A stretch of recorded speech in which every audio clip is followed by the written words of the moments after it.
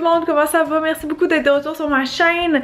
Écoutez, euh, après-midi, on va faire du rempotage, euh, rempotage annuel, tu sais, je fais le tour de mes plantes puis je regarde quelles qui ont trop poussé, quelles qui devraient, euh, ben, qui se mériteraient en fait une nouvelle petite maison. il fait tellement beau dehors que pour vrai, je pourrais limite faire ça sur mon patio, mais non, il fait un peu trop froid en ce moment, il y a de l'ombre, mais pour vrai, il fait comme 15 degrés à tous les jours ces temps-ci et je capote. Je sais que ça va pas durer, je sais que ça va redescendre un petit peu, mais ça fait du bien. C'est pour ça tantôt, là, je suis allée prendre mon petit dîner dehors. Ça fait trois jours euh, de suite que je fais ça parce qu'on est juste tellement bien. Puis un matin aussi, j'avais un petit, euh, un petit événement virtuel là, avec euh, Neostrata puis c'était bien intéressant.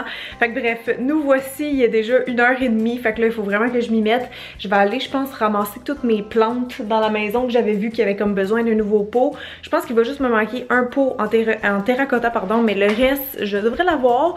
Là, faut que j'aille dans le cabanon parce que c'est aussi là que j'ai les pots plus grands, tu sais, comme les pots en plastique qui vont nous servir de Ouais, c'est ça. Ben, ce qui va dans le cache-pot, dans le fond?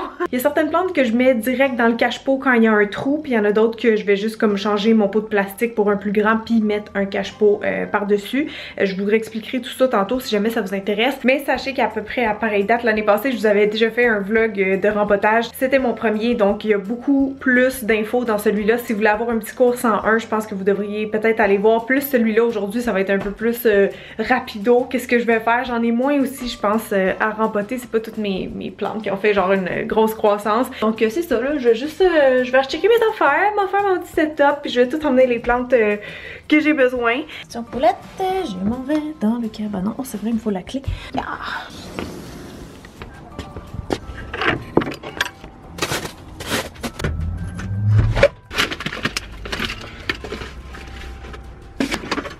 Ça fait du bien la frère, ma belle. Oui, oh oui, tu veux sentir mes mains? Je suis allée dans le jardin. Ça de la terre? Fait que j'ai tout. Je vais prendre ici ma petite bâche de rempotage que j'adore. Je sais pas d'où qu'elle vient par contre. On me l'a demandé quelquefois, mais c'est un cadeau. fait que je sais pas. Mais tu sais, c'est juste une toile de plastique. C'est juste que ce qui est fun, c'est qu'on peut la snapper comme ça dans les coins. Euh, ben, pour faire moins de dégâts, là. Tu sais, si jamais ça coule ou quoi que ce soit. The way, avez-vous vu mes bas? j'ai mis les bas parfaits pour aujourd'hui. Aussi, je voulais vous montrer, j'ai changé de setup de semi. En fait, c'est un cadeau de ma belle-mère. Elle m'a dit qu'il était seulement genre en solde à 23 pièces au Canac, vraiment pas cher. Puis je pensais ben, peut-être m'en acheter une pour mettre comme plus d'or quand je transitionne les plans et tout. Fait que ça tombait genre vraiment bien. vous voyez, c'est vraiment euh, c'est vraiment costaud. Il y a une petite euh, housse qu'on peut mettre par-dessus. Je, je l'ai pas mis vu qu'ils sont à l'intérieur, mais quand je vais les mettre à l'extérieur, c'est sûr que je vais que je vais la mettre. Pas zippée, en tout cas pas quand il fait chaud chaud parce qu'il faut pas euh, exagérer non plus sur l'effet de serre. Sinon, tu sais, s'il passe de genre 19 degrés à genre, je sais pas moi, 25 degrés dehors, avec ça en plus, tu sais, ça se peut qu'il y ait un, un, petit choc. Fait qu'il faut faire attention avec ces housses-là, de laisser respirer un petit peu. Parlant de respiration, c'est vrai, je me suis mis mon ventilateur hier sur la table juste pour être comme à une meilleure euh, hauteur avec ce nouveau setup-là. C'est juste ma petite fan euh, Dyson, n'importe quel ventilateur vous pouvez prendre. Comme je disais dans le vlog des semis, c'est important qu'il y ait un petit peu de vent et ce, euh, dès le départ. Parce que ben, on essaie de reproduire un petit peu ce qu'il y a à l'extérieur. Et donc, si vous mettez du vent sur vos plantes, surtout si vous avez plein de semis qui sont super entassés, en tout cas, ça va faire une meilleure circulation d'air, mais surtout, ça va venir fortifier leur tige. Donc, super important parce que si vous avez des petites pousses longues et minces, moi j'en ai certains qui ont commencé à me faire ça, ben c'est ça, là il faut que, il faut que je m'y mette plus sérieusement. On peut faire un 3-4 heures euh, par jour et euh, juste être sûr que c'est ça que ça, que ça ventile bien euh, toutes vos semis. je peux vous faire un petit update sur ceux qui poussent. Là en passant j'ai une petite lampe ici mais je vais m'en acheter une vraie. Ça c'est comme celle que j'avais dans mon kit Click and Grow. Là. Je sais pas si vous vous souvenez de ça. En tout cas je l'ai juste clippé ici pour l'instant mais ouais faudrait que je mette un meilleur éclairage. Quand les plantes commencent à, ben, les petites plantules quand elles commencent à vraiment se stretcher, c'est parce que leur tête est comme à la recherche de la lumière. Un autre truc aussi, je vous avais pas dit dans le vlog des semis, mais c'est d'alterner, tu sais, un peu à chaque jour comme ça le plateau pour pas qu'il pousse tout le temps vers le soleil, tu sais, dans la même direction. Fait comme ça, ça va faire une croissance qui est plus euh, uniforme. Mais donc voilà, vous avez un petit update. Ça a poussé quand même bien. Euh, il y a des choses qui n'ont pas sorti, fait que je les ai ressemées euh, ce week-end. Les malvas sont ici, donc ça, ils ont toutes sorti.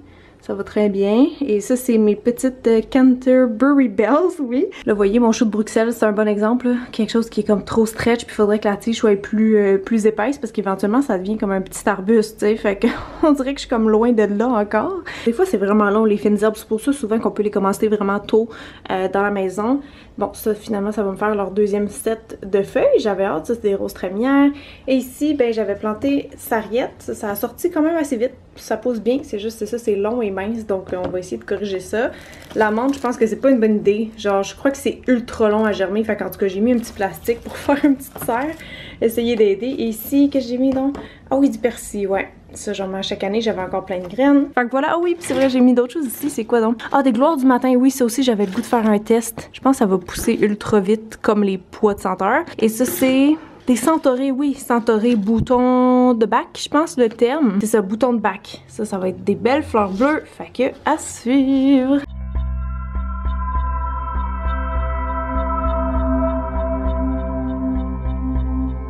On dirait que c'est mes jeans, c'est la même couleur que ça. Il fait chaud même avec la fenêtre ouverte, mon dieu. Ok, en fait, je pense que je vais détacher mon tapis parce que sinon vous allez, c'est ça, moins bien voir qu'est-ce que je fais. J'en ai vraiment une couple à faire, fait que je vais sûrement mettre des petits bouts euh, en accéléré, mais on peut revoir les bases rapidement en faisant, ben, une première ici, tiens, pourquoi pas. Tu veux aider, toi? Lui, il est toujours obsédé avec le sac d'argile, je sais pas pourquoi. Comme... Attends, la litière, la litière c'est de l'argile, ça la rend folle aussi, genre le sac, l'odeur, je sais pas. Y a-tu un lien à faire? Coco, je savais que t'allais te mettre ici. Bon, ce sera pas long, on va attendre qu'il y ait des distances. Là, la seule affaire, c'est que j'espère que je vais pas manquer de terre. J'ai deux sacs Pro Mix, un pour plantes tropicales. Excusez-moi, attendez, je vais mettre ici. Les J'ai des restants pour euh, tout ce qui est plantes grasses, les cactus et tout, mais j'en ai vraiment pas beaucoup. Puis ici, j'ai juste terreau pour empotage. Donc, je pense que c'est bon pour tout. Ouais, c'est pour dehors? Tu acheté le sac pour vrai, toi, là? là? équitalente. En tout cas, lisez qu'est-ce que qu'est-ce que c'est écrit en arrière, tu sais, dans l'analyse, comme ça, ça va donner une idée de où est-ce qu'on pourrait utiliser ça.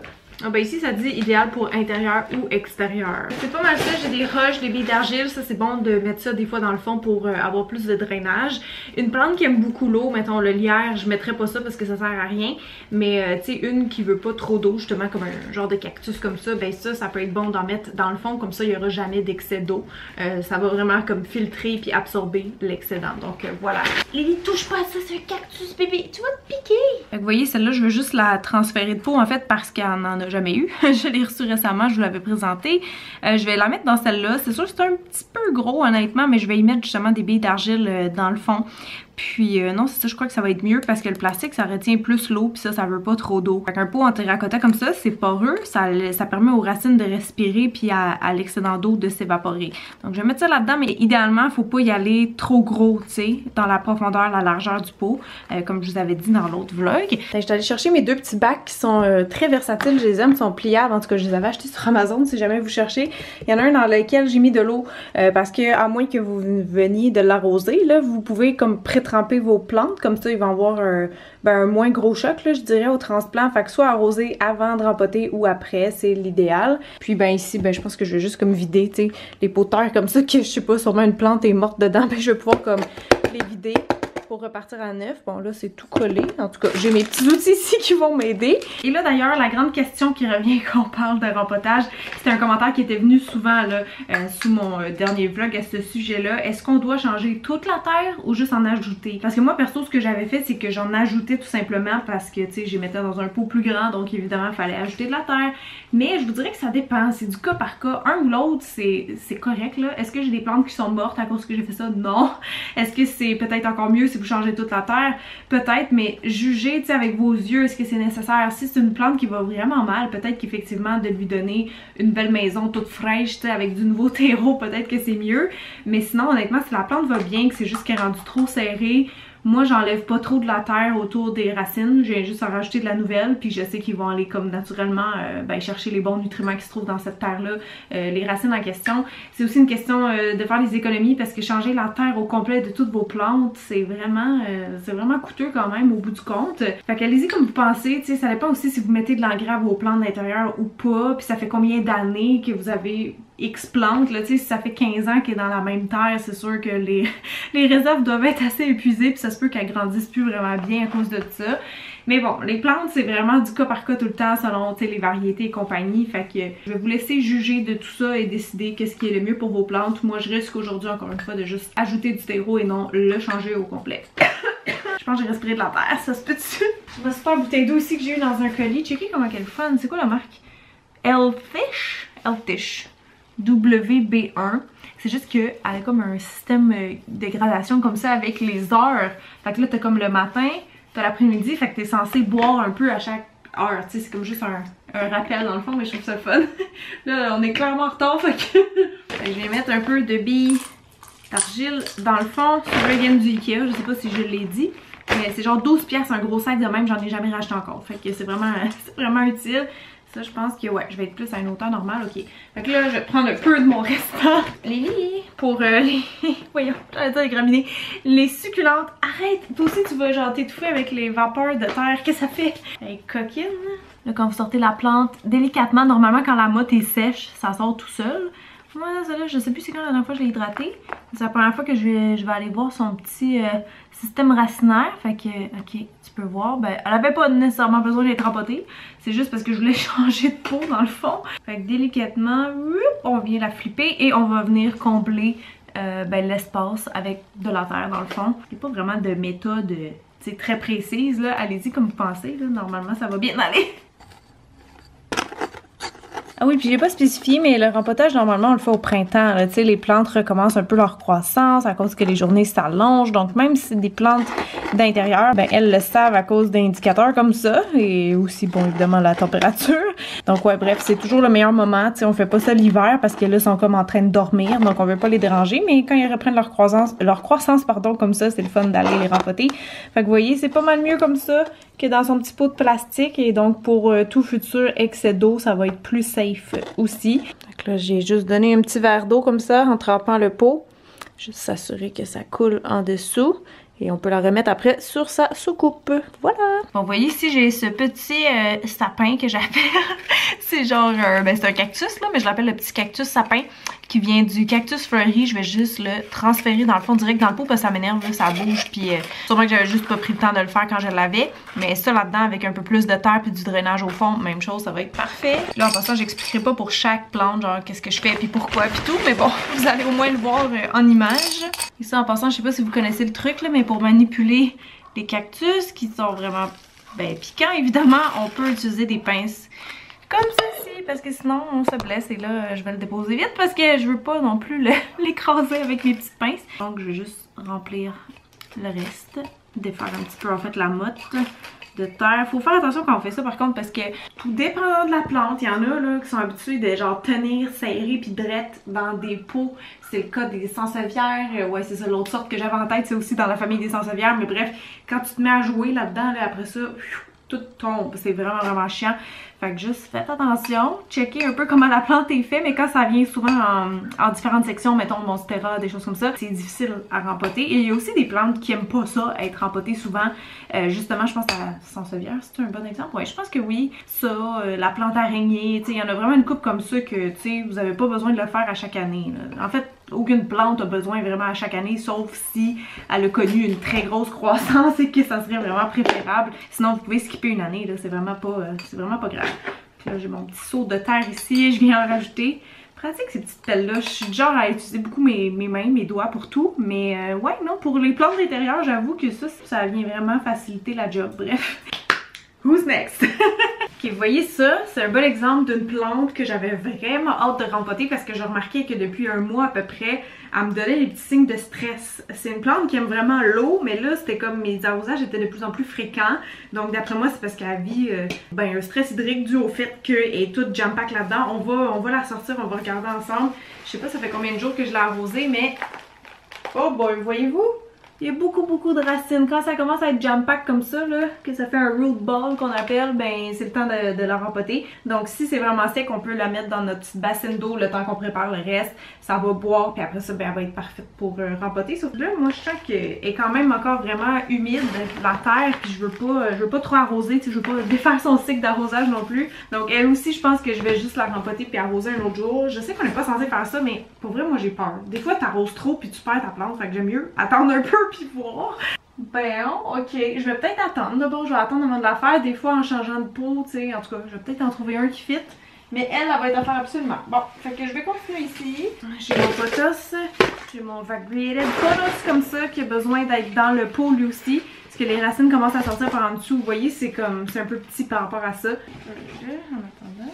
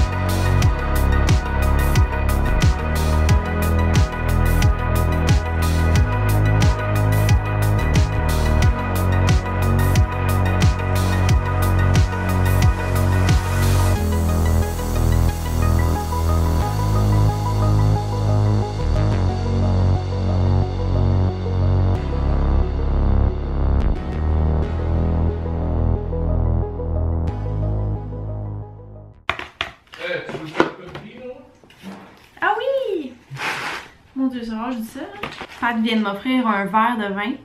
Et j'ai dit oui! Oh my god! C'est un événement qui arrive pas souvent. En fait, jamais, jamais, jamais, jamais. Puis hier, on était à l'épicerie. Puis là, je vous passe devant, euh, ben, il y avait comme une sélection de vins. Puis là, je vois, comment il s'appelle? Fraîcheur? En tout cas, je suis comme fraîcheur, ça me dit de quoi?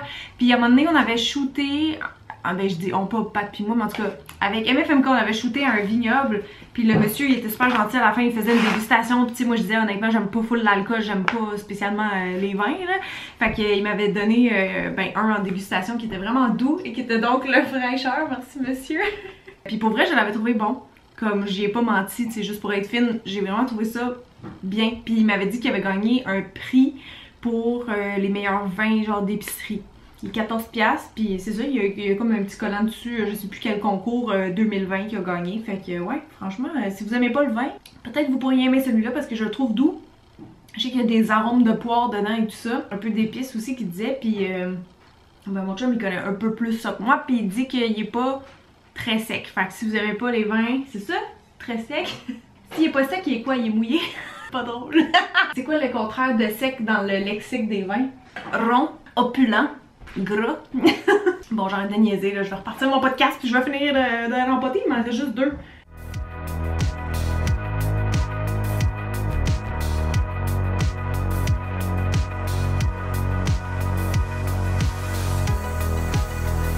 Bon, quelques temps plus tard, voilà, tout a été fait, tout est rempoté, j'ai même pas manqué de tâches, je suis vraiment contente. Il y en a que ça va leur faire du bien, là. Comme c'est sûr, le petit ficus va être mieux. Puis elle aussi, finalement, en plus, j'ai trouvé toutes les pots qui fonctionnaient. Fait qu'à force de les rebouger, euh, ben voilà, mission accomplie. Je suis vraiment contente. Fait que là, je vais juste ramasser mon petit bordel et aller ranger tout ça.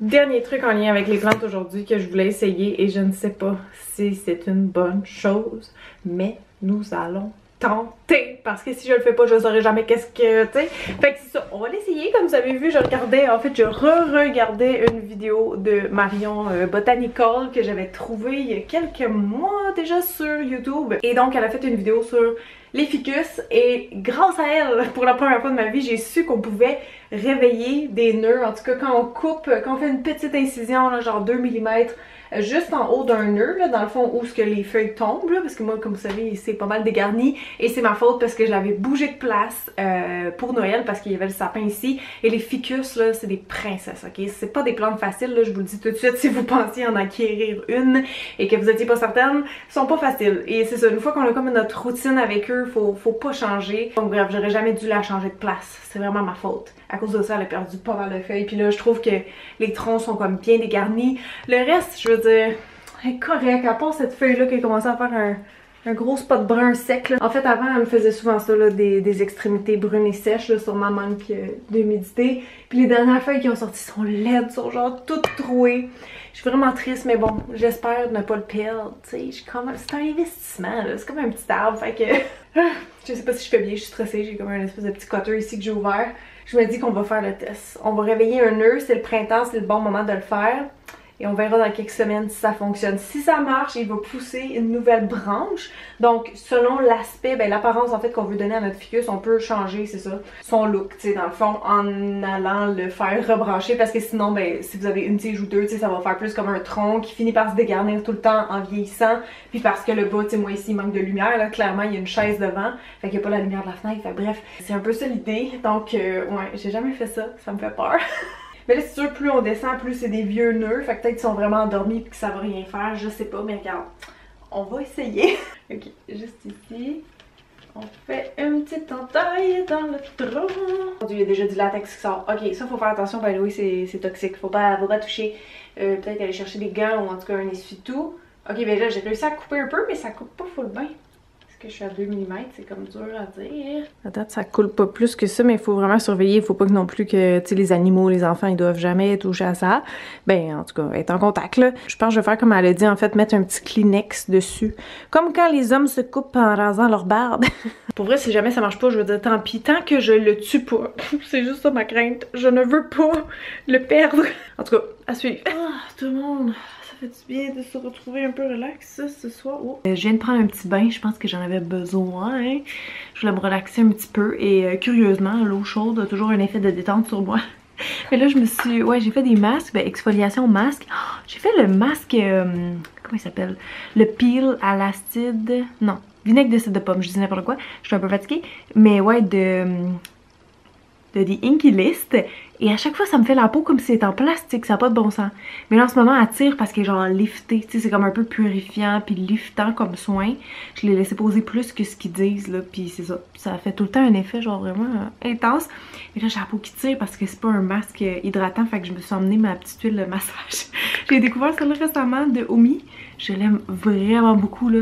C'est vraiment pour faire des massages, pas juste pour mettre comme, mettons comme ça sur la peau et rien faire après. Puis là, ouh, je prends une chance parce que madame ici qui vient de sauter, la belle Lily, c'est son heure de jouer. Fait que là, j'ai sa bouffe à côté que je peux y lancer. Ça, c'est son jeu préféré qu'elle se jamais. Comme j'ai fait faire des beaux sauts dans les airs et tout. Mais bref, je me suis dit que j'allais juste comme vous jaser un petit peu en concluant le vlog. Puis peut-être juste me masser un peu ça en même temps sur le visage pour compléter mon petit moment cocooning. Comme je vous disais, je pense que j'en avais besoin parce qu'on dirait que dans ce vlog-ci, j'ai juste fait du rempotage, mais j'ai fait plein d'autres choses au travers de la journée. Puis j'étais comme un peu stressée là, tantôt à l'heure du souper en cuisinant. J'étais comme, ah, tu sais quand je me sens pas en contrôle de mon horaire, genre d'affaire qui, revient souvent puis qui me stresse souvent. Fait que, en tout cas, clairement, le bain a un peu aidé, même si ça n'a rien à voir concrètement avec mon emploi du temps, on s'entend.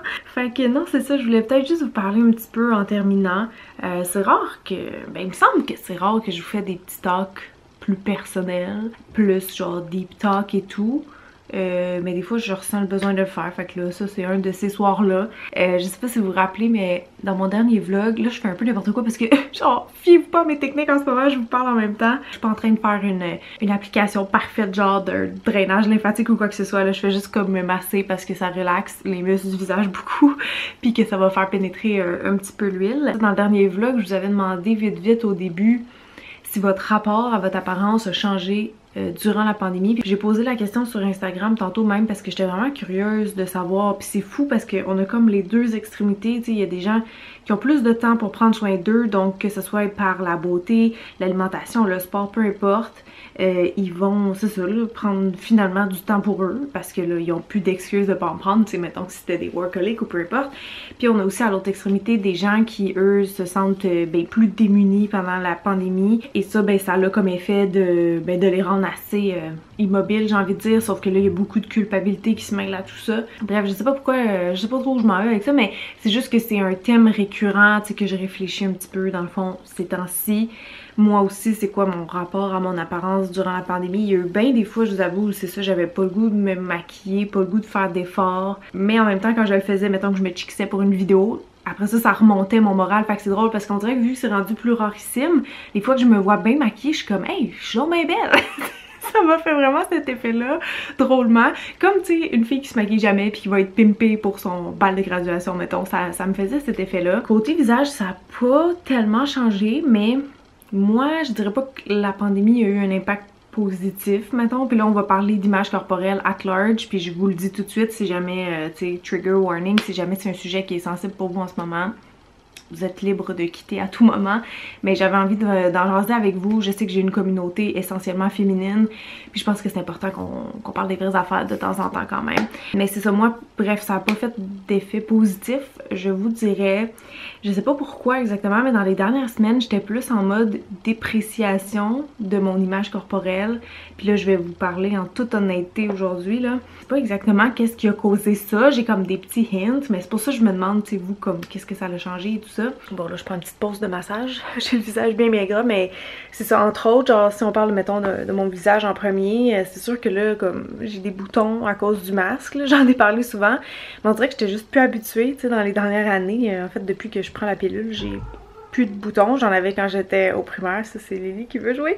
Et après, ça s'était estompé avec la pilule. Fait que, tu sais, je suis comme plus habituée. Puis c'est fou parce que je trouve tellement que je manque de self-control, genre pour pas jouer avec mes boutons. C'est comme si je suis tout le temps à la recherche de, peau parfaite ou de maintenir une belle peau si on veut. Comme si c'était quasiment une défaite pour moi en tant que youtubeuse beauté. Puis je sais que c'est con là, genre tout le monde ou presque est atteint par ça, le masque-nez, puis genre je teste plein de produits, puis j'essaie de faire attention, mais tout le temps les mains dans le visage, puis je sais que c'est du stress. Euh, je vous avais déjà parlé de ma soeur qui fait de la dermatillomanie, qui est comme une version intense de ce que je suis en train de, vous expliquer, euh, où souvent il faut vraiment consulter, mettons, un psychologue pour ça.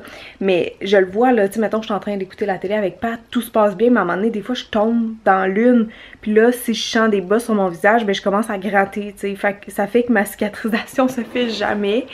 Et ben c'est ça, j'en reviens pas à quel point, genre, d'avoir une peau avec des imperfections, des boutons, des fois ça me joue sur le moral, tu sais, puis je me dis je devrais pas, puis j'ose pas trop en parler que je me dis ben il y a des gens qui ont de l'acné sévère puis je veux pas qu'ils se sentent comme fait que c'est ça j'ose pas trop euh, parler de ça publiquement pas fréquemment en tout cas pas de mes insécurités par rapport à ça mais c'est fou je sais pas si tu sais récemment mettons je faisais moins de stories aussi puis j'ai remarqué que ouais dernièrement pardon ma voix comme coupée j'avais tendance à en fait, j'étais portée à utiliser, tu sais, des petits filtres. Pas des filtres qui te modifient, mais les filtres, genre, avec des petits grains, des affaires de même.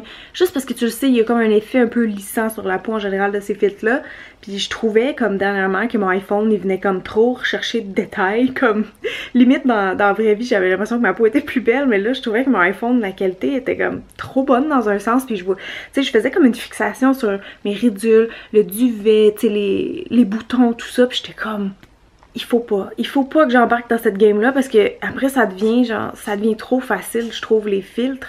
Au final, le outcome de ça, je suis sûre qu'il est négatif parce que ça vient de jouer dans la tête. Genre si t'es habitué de toujours te voir la meilleure version de toi-même alors que c'est pas la vraie vie, je trouve éventuellement que c'est ça, ça te cause du tort parce que là, tu vas être surprise quand tu te vois dans le miroir, évidemment qu'il n'y a pas de filtre. Je sais pas si vous partagez un petit peu la même opinion, mais c'est ça. Bref, récemment, j'ai fait un effort conscient de pas en utiliser, même si je me trouve pas à mon meilleur. Puis c'est ça, je sais pas si c'est parce que je faisais moins de ouais de stories des vidéos je suis moins habituée de me voir mais ouais non c'est ça je sais pas pourquoi mais récemment j'avais de la misère à me voir en story je vais être bien honnête avec vous ça me l'a fait aussi un petit peu récemment sur la chaîne de vlog que j'étais comme ah on dirait que j'ai un double menton j'avais pas ça avant tu sais puis ah on dirait que j'ai déjà euh, I get theory parce que c'est un sujet sensible évidemment pour tout le monde. Puis je pense que ben peut-être ça m'affecte plus que je pense je sais pas. En fait je pense que le point genre le message que je voulais faire passer aujourd'hui c'est que même si tu sais on a tous des modèles un petit peu je pense dans la vie par rapport à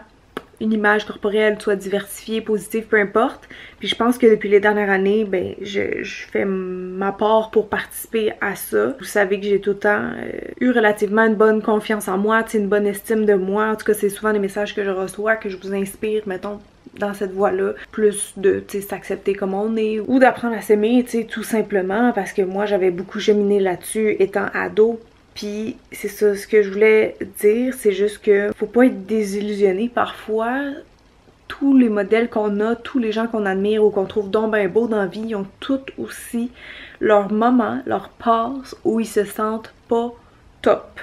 Et vraiment, ça arrive à tout le monde. C'est comme une fois quand j'assistais à une conférence d'ANEB, il y avait quelqu'un qui avait osé poser la question à la fin, aux, intervenantes qui avaient fait la conférence et tout, puis de demander si elles, encore aujourd'hui, des fois, les aliments, ça pouvait les, les trigger ou leur rapport par rapport à leur poids et tout. Puis les filles ont été toutes honnêtes honnêtement puis ont toutes répondu que oui.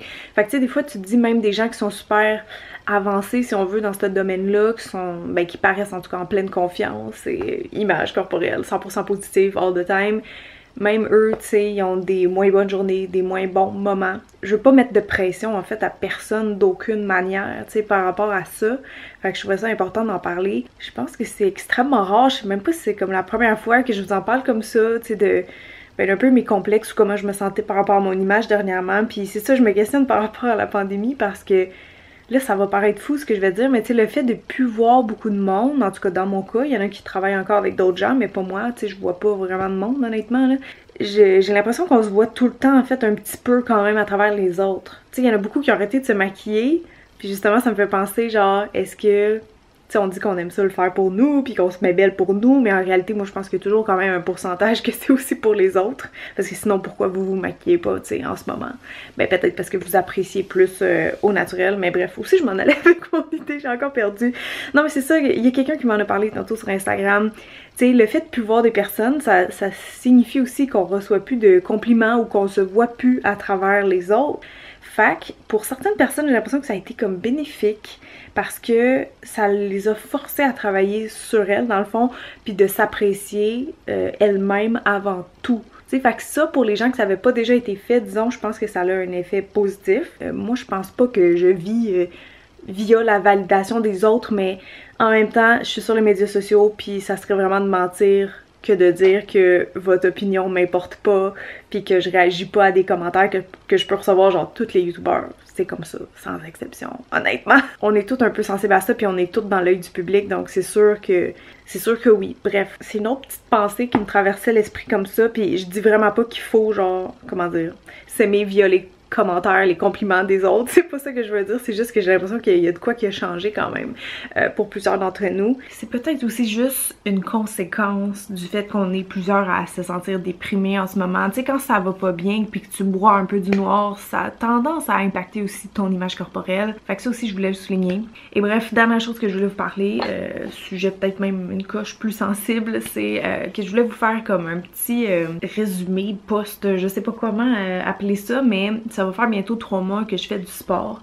Puis j'avais envie d'être honnête avec vous euh, par rapport à ça ce soir. Je suis pas une menteuse, c'est-à-dire que quand je vous ai expliqué mes motivations au nouvel an de commencer à faire du sport, parce que pour vrai ça m'a pris quasiment tout un an de pandémie en fait pour me rendre compte que j'étais plus active puis que c'était peut-être pas bon. Mes motivations étaient vraiment vraiment pour ma santé. Euh, ben, je me disais mon dieu, je vais avoir 29 ans les amis, je vais avoir 29 ans dans quelques semaines, ça n'a pas de bon sens, ça passait tellement vite puis c'est ça, je me disais ben juste cultiver des bonnes habitudes de vie. Euh, c'est vraiment juste de ça que ça partait. Puis c'est drôle parce que quand je vous avais laissé choisir mes résolutions en janvier, celle qui revenait le plus, c'était de prendre du temps pour moi. Et je trouve qu'à date, ça va pas pire parce que, ben justement, le sport, c'est du temps pour moi. Puis ça, je vais vous faire mes conclusions un petit peu, là, dans le fond, après trois mois. Je trouve que mon mindset a changé un petit peu par rapport à l'activité physique, au sens où avant, c'était comme une obligation, un affaire que j'étais comme, bon, il faut que j'en fasse. Fait que, tu sais, je le mettais dans mon agenda, puis si ça me tentait pas, je le déplaçais. Euh, donc là, c'est le fun. J'ai trouvé une routine qui fonctionne pour moi, c'est-à-dire d'en faire pas beaucoup, mais à chaque jour. Comme ça, je peux pas vraiment décrocher parce que des fois, si t'arrêtes trois jours, après ça, c'est trop tentant de, tout le temps arrêter. Fait que je trouvais que pour moi, 10 minutes le matin, c'est parfait parce que j'ai pas j'ai pas d'excuses C'est sûr que j'ai 10 minutes, oui je suis occupée, mais quand même moins qu'avant à cause de la pandémie. Puis c'est sûr que 10-15 minutes, j'ai tout le temps ça, tu. Fait que j'ai comme pas d'excuses. Et j'aime mieux à la fin de la semaine cumuler toutes ces minutes-là que n'en avoir fait zéro parce que une heure, ça me décourageait dans mon horaire. Puis j'ai dit, oh non, je veux travailler à la place, tu sais. Puis je suis contente d'ailleurs qu'il y a beaucoup de gens ici qui m'avaient dit ben, que ça vous a inspiré parce que des fois on, pense que le sport c'est juste ça, puis faut le faire comme ça. Puis non, on peut vraiment rendre ça agréable, je pense, pour tout le monde, même moi, là, je suis vraiment pas une sportive née et j'ai trouvé un certain plaisir là-dedans. fait que les premiers temps, ben tout allait bien. Euh, je trouvais que mon équilibre, ma force revenait quand même assez rapidement, donc ça c'était encourageant. Tu veux-tu jouer ma Lily? J'ai ton sac. Je suis capable de faire, hein? C'est très multitasking aujourd'hui. Veux-tu jouer en même temps? Donc, euh, donc oui, c'est ça. Au début, je trouvais ça juste positif. Ben encore là, je veux dire, je trouve que ça commence bien mes matins. Ça me donne de l'énergie et surtout, je me suis rendu compte que ben c'est un peu une forme de méditation pour certains le sport puis je le comprends parce que quand je fais ça même si c'est 10-15 minutes, je suis concentrée puis je suis dans le moment présent. Je peux pas être en train de penser à d'autres choses parce que je vais plus suivre mon application ou je vais mal faire un mouvement puis me blesser, tu sais. Fait pour me grounder un peu dans le moment présent, ça, j'ai trouvé que c'était vraiment bénéfique. Donc oui, après quelques semaines, je me suis vraiment rendu compte que effectivement, le plus dur, c'est de commencer. Après ça, moi, la façon que je l'ai fait, en tout cas dans ma routine, ça fonctionne bien. Si maintenant, je, après trois mois presque, je l'oublie, mettons, le matin, je m'en rends compte. Tu sais, sans, sans euh, notification ou quoi que ce soit, euh, je m'en rends compte parce que là, je pense que c'est plus instauré dans ma routine. Puis je dis pas que ça va être comme ça toute ma vie, hein. Peut-être que cet été, ça va prendre le bord. C'est sûr, ma routine va changer un peu. Mais tu sais, au moins, l'été, je me dis, ben, je suis quand même active parce que je jardine, je fais de la piscine et tout ça. Mais l'hiver, là, c'est ça, j'étais tannée de, rien faire. C'est comme mon corps avait besoin de bouger. Fait que pour vrai, c'est parti de bonne intention de, santé, si on veut. Sauf que ce qui est arrivé avec le temps, je vais vous expliquer, je pense aussi pourquoi c'est arrivé. Entre autres, euh, moi, je, je m'entraîne le matin. C'est comme de la muscu cardio que je fais. En tout cas, vous savez, c'est mon application workout de Down Dog. Euh, je le dis parce qu'on me le demande souvent. Mais moi, c'est ça. Le matin, là, je m'entraîne en sous-vêtements, genre top de ben, brassière de sport puis bobette. Je finis toujours en sous-vêtements, même si je commence avec d'autres vêtements juste parce que honnêtement j'ai chaud même après 10 minutes et j'aime ça voir dans le miroir ben comment mon corps bouge pour pas me blesser, tu sais, parce que les squats, tu sais, je veux dire, là, j'ai pas d'entraîneur à la maison. Fait que quand je faisais mal des abdos, des squats, des affaires de même, le lendemain, j'avais mal au dos, puis je sais que c'est vraiment pas bon. Fait que bref, je trouve que, tu sais, je peux voir ma colonne vertébrale en étant en brassière, puis tout ça. Bref, je pense que vous comprenez. C'est ça, c'est comme si, là, après une longue période, à pas vraiment me regarder dans le miroir, tu sais, à m'en foutre de mes outfits, donc, parce que je sors jamais, j'ai été comme soudainement hyper focus sur mon corps, puis ça m'a donné comme une opportunité de m'observer trop, euh, de m'analyser et de commencer, ben c'est ça, à avoir euh, des défauts physiques que honnêtement avant de m'entraîner, je, je remarquais pas, tu sais, je savais qu'ils étaient là, mais j'en faisais, faisais pas un plat. c'est comme un aspect négatif qui est arrivé à cause de l'activité physique. Je sais pas si le monde en parle souvent, mais on dirait que c'était comme si c'était comme un risque latent euh, que je commence à trop m'observer, puis trop remarquer ma cellulite, trop remarquer que mes jambes étaient donc bien rondes et tout ça. Ah, je get emotional encore. Non, mais c'est ça, c'était comme dans les. Non, pas dans les dernières semaines, mais comme un peu avant. Je dirais après deux mois peut-être d'entraînement il commençait à me popper des pensées automatiques dans ma tête, des pensées là, tu sais, vraiment rapides que tu le sais que c'est pas vraiment toi, c'est comme une petite voix négative là. Ben, en fait, je suis contente de me rendre compte que c'est une petite voix négative et que c'est pas genre la vraie Cynthia. Parce que je sais pas si c'est tout le monde qui fait bien la, distinction. Oh, je dis ça au sens parce que je sais que les femmes, souvent, on est hyper critiques envers nous-mêmes, sur tous les points, mais surtout aussi sur notre apparence. Et je sais qu'il y en a en fait, la différence, c'est qu'il y en a qui vont voir ces pensées-là, puis qui vont... Ben, ça va avoir des conséquences, en fait. Tandis que moi, je suis contente, vu que je pense que j'ai bâti une bonne image corporelle dans le passé, ça reste au stade pensée automatique et pensée que j'essaye de contrôler et d'éviter. Tu sais, je peux vous donner des exemples de ce que je me disais, mais je sais que c'est des choses que beaucoup de femmes se disent, euh, tu sais, par rapport à leur poids, leur apparence. Évidemment, ça va varier selon le contexte. Mais là, mettons, moi, je savais que j'avais pris du poids avec la pandémie, c'est juste que pour je m'en foutais parce que je, me trouvais belle, mais c'est ça, c'est comme jusqu'à temps que je commence à m'entraîner, puis je sais pas pourquoi le désir d'avoir un corps musclé, d'avoir un corps plus mince est apparu comme ça, alors que je vous rappelle mes motivations étaient honnêtement purement euh, pour la santé. Fait que j'ai été comme désorientée pendant quelques jours. En fait, ça a commencé même avant ça par une pause de pensée euh, automatique de me dire pourquoi tu t'entraînes genre 10 minutes par jour? C'est rien là, tu sais, genre c'est une tant qu'à y être, fais rien. Genre ça fait aucune différence, t'améliores pas ta santé, euh, t'es fatigué des fois le matin quand tu le fais puis c'est juste 10 minutes, genre comme si j'étais bonne à rien honnêtement. Ah, juste le dire à voix haute, ça fesse. vous voyez, c'est ça que je veux que vous vous rendiez compte. Si vous vous parlez comme ça à voix haute là, parce que quand on a des petites pensées dans notre tête, des fois, on, on ah, je sais pas comment dire, on prend pas le temps, mais essayez de les dire à voix haute pour le fun. Vous allez voir, ça fesse plus parce qu'elles deviennent concrètes, ces pensées-là. Et vous allez peut-être vous rendre compte automatiquement que ça n'a pas de bon sens de se parler comme ça, ça n'a pas de bon sens. Je pense qu'en ce moment, tout le monde a besoin de douceur et de bienveillance parce qu'on a eu une année rough, genre tout le monde. Fait que c'est pas nécessaire, genre, d'ajouter une couche de pression. Euh, j'ai vu beaucoup de commentaires tantôt qui me confirmaient ce que je pensais. Je sais pas pourquoi.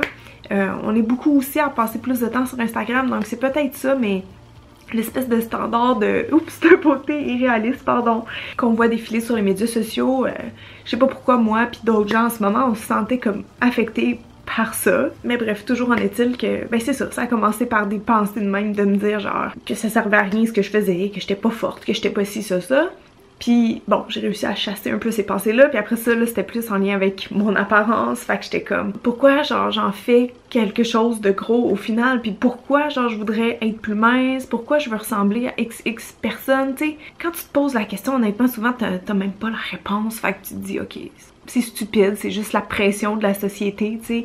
Puis je me suis surtout dit honnêtement que je pouvais pas prôner une image corporelle saine euh, me, décrire, mettons, comme étant non grossophobe et avoir des pensées comme ça envers moi. Genre, ça ne fonctionne pas, là. C'est pas en équation, tout ça, là, tu sais.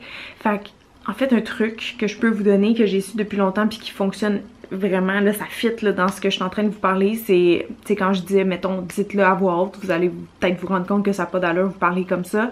Même chose si vous faites l'exercice de dire ce que vous vous dites à un enfant, ou à vous quand vous étiez petit ou à votre meilleur ami au choix. Comme dites-vous ces phrases-là, mais comme si vous les adressiez aux gens que je viens de nommer, puis vous allez voir que ben ça se fait pas, que vous le feriez pas Donc, pourquoi on le ferait à nous-mêmes? Tu sais, genre, pourquoi on se manque de respect comme ça? Puis pourquoi on se met autant de pression? Pourquoi on est méchante comme ça envers nous-mêmes? Genre, ça fonctionne pas. Moi, si une amie prend 10 livres, 15 livres, je m'en fous! Genre, quelle importance ça a dans ma vie, tu sais? Oui, on le remarque quand quelqu'un perd ou, gagne du poids, mais comme... Ok, je sais, at the end of the day, excusez, ça me fait sacrer, mais genre, le monde qui commente le poids sur les médias sociaux, là, moi, ça me fait péter des fuses parce que je suis comme, c'est quoi que ça change dans ta vie? Genre, on s'en fout. Puis pour vrai, c'est ça, pendant un bout de temps dans la pandémie, j'étais comme Ah, mais j'ai pris du poids, mais je m'en fous parce que je m'aime comme je suis. Moi, pour vrai, là, c'est même pas tant par rapport au physique, ok? C'est plus par rapport au fait que mes jeans me font plus. Puis qu'il faut que j'en rachète, ok? C'est juste ça que ça me tente pas. Écoute, c'est pas écolo, euh, ça vient cher. Non, non, mais c'est vrai. Pour vrai, moi, plus 10 livres, moins 10 livres, comme. Ça a tout le été de même dans la dernière année. J'en fais vraiment pas un plat. Même que, tu sais, Pat, il a comme acheté une balance récemment parce que notre ancienne était pétée. Moi, je me pèse jamais. Fait que, tu sais, c'est sûr, bon, tu reçois une balance, tu te pèses, là, tu sais. Fait que c'est pesé. Euh, je sais pas, il pèse combien, mon chum, j'ai aucune idée pour vrai, je sais pas par cœur. Moi, je sais pas. Je sais juste qu'au secondaire, tu sais, parce qu'à ce moment-là, je me pesais un peu plus, que je pesais comme 115, 120, puis à un moment donné, 125, tu sais, puis ça augmente en vieillissant, puis c'est normal, Tu sais, bref, on était dans le salon, puis je me suis pesée, puis j'étais comme, ah, ben, je sais juste pas, je pesais combien la dernière fois. Fait que, pour vrai, j'ai pas eu de de grosses réactions. Mais c'est ça, je dis, je sais que malheureusement, plusieurs femmes, après s'être vues avec un certain chiffre sur la balance, ils auraient fait un régime, euh, l'entraînement intensif, quelque chose, mais tu sais. Puis c'est correct de vouloir modifier son apparence aussi, là, mais je pense qu'il faut que ça reste sain, c'est surtout ça. Faites attention à vos pensées quand vous, vous tombez dans des comportements peut-être comme ça, peut-être juste observer, tu. Ben c'est ça, c'est quoi la motivation derrière, puis pourquoi c'est important un chiffre dans le fond. Je sais pas pourquoi. Peut-être peut-être j'ai pris du poids en muscle parce que je m'entraîne depuis trois mois, je sais pas. Mais tu sais, au final, que ce soit du muscle, que ce soit du gras, sérieux, je reviens toujours à la phrase que j'avais vue sur Instagram qui est nos corps nous font passer à travers une fucking pandémie mondiale. Est-ce qu'on peut leur donner un break? Genre, manger, c'est pas juste pour avoir de l'énergie, ça répond à toutes sortes de besoins et des besoins euh, émotionnels et des besoins physiques. Bref, soyez indulgente envers vous-même. C'est ça que j'ai envie de vous dire pour, euh, pour conclure. Je sais, ça fait vraiment longtemps que je parle, mais ah, j'avais comme envie de finir le vlog avec un petit euh, deep talk. J'espère que tout ça a fait du sens. je voulais juste être vraiment honnête puis je dis pas ça en passant pour avoir des commentaires genre « Oh mais t'es full belle Cynthia » ou quelque chose. C'était vraiment pas ça là. En général, j'ai une bonne estime de moi, j'ai une bonne confiance. Par contre, je dis juste que la pandémie, ça a pas eu des effets positifs euh, à ce niveau-là pour moi personnellement. Mais euh, ben c'est ça, je me laisse pas abattre les, les pensées négatives que j'ai eues plus dans les dernières semaines par rapport à mon apparence. Euh, je prends conscience que c'est ça, c'est des petites pensées automatiques et donc que c'est pas la vraie moi si on veut et je me remets sur le droit chemin, tu sais. Puis je veux continuer à faire du sport pour les bienfaits sur ma santé mentale que ça m'apporte, puis sur ma santé physique et that's Si mon corps change par rapport à ça, ben c'est sûr ça peut arriver. Euh, fait que je veux même pas dire tant mieux parce qu'il n'y a pas de tant mieux là, tu sais. Le but c'est de s'accepter toujours comme on est puis de comprendre que le corps ça change, ça change tout le temps un corps. On est des humains, tu sais, on s'adapte. Donc voilà, c'est ce que j'avais à vous dire aujourd'hui. On a toutes des passes où on se sent moins hot, mais l'important c'est de travailler pour que ces passes-là deviennent pas notre réalité, je pense, constante. Donc si vous sentez euh, le besoin de parler à quelqu'un, il y a des bons psychologues qui peuvent vous aider, ça c'est garanti, ou sinon juste écrire ou appeler euh, une amie. Vous savez pas peut-être qu'elle vit les mêmes choses de son côté, puis qu'elle ose pas en parler non plus, tu sais. On a toutes nos tracas puis on veut pas euh, énerver les autres avec ça, mais moi je pense qu'on a plus en commun qu'on pense. Fait bref, je vous aime les filles et les garçons. Je sais, il y a aussi des garçons, mais il y en a moins. Fait que je parle au féminin souvent, je m'excuse, mais je vous aime tout le monde et merci d'avoir été là. Gros bisous. Puis je vous dis à la semaine prochaine ou l'autre après. Bye!